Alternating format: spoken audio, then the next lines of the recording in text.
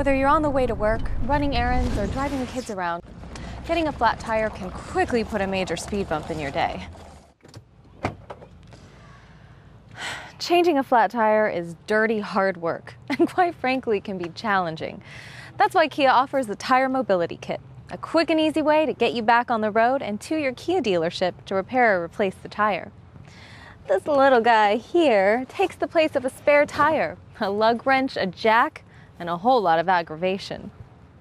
So let me show you the components of the Tire Mobility Kit. How to fill a punctured tire with sealant and air, how long to drive the vehicle to distribute the sealant, and how to check and adjust the tire pressure afterward so you can safely drive the vehicle to your Kia dealership. Plus, get the kids to their playdates, the errands done, and even to work on time. But first things first, always find a safe place to pull over where you can work on your flat tire.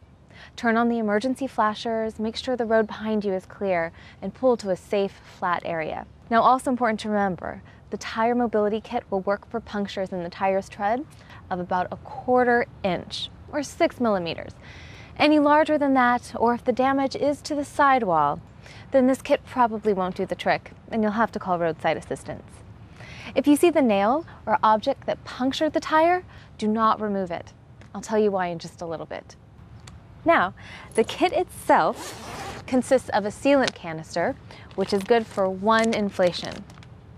The compressor, and tucked in the back of the compressor is the compressor hose and the extension cord for the 12 volt power outlet.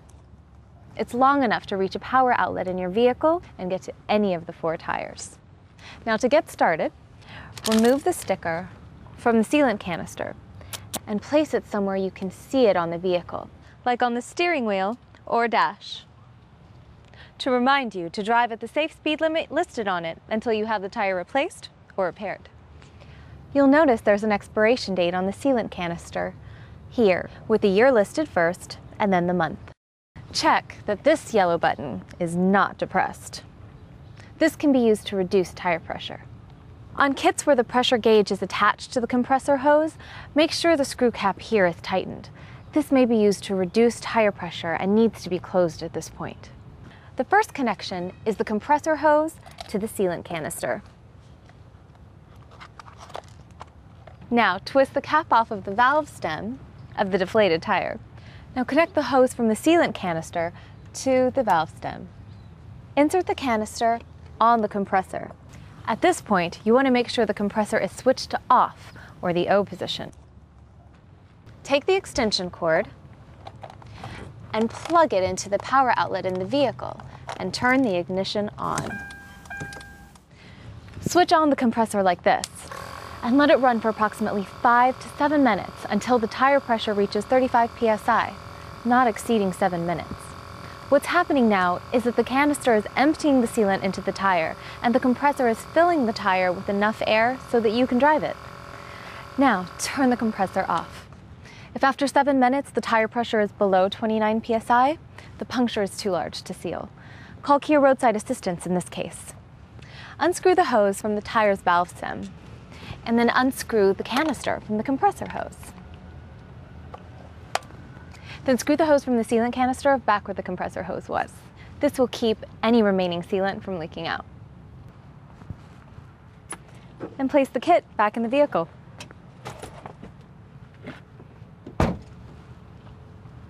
Now drive the vehicle for 4 to 6 miles or approximately 10 minutes at speeds between 12 and 50 miles an hour.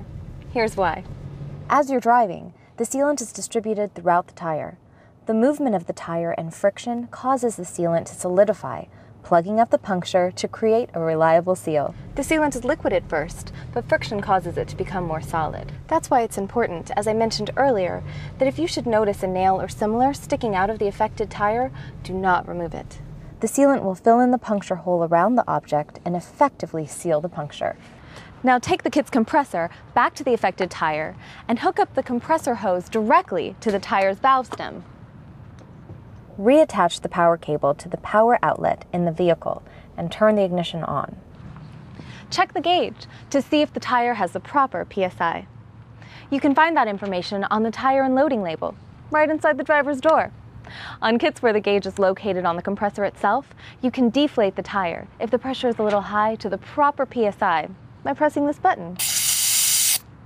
Or loosen the screw cap on the compressor hose on kits where the gauge is attached to the hose. If the pressure is too low, turn the compressor on to inflate the tire. Turn the compressor off when checking the tire pressure for an accurate reading. That's it. Now you can drive your vehicle to your Kia dealership and have them inspect the tire for you. It would also be a good time to get a new sealant canister, as they're only good for one use each. The Tire Mobility Kit is not only easy and safe to use, but it increases the fuel economy of your Kia. That's because there's no heavy spare tire or jack, so it reduces the weight of the vehicle. And you don't have to get your hands dirty.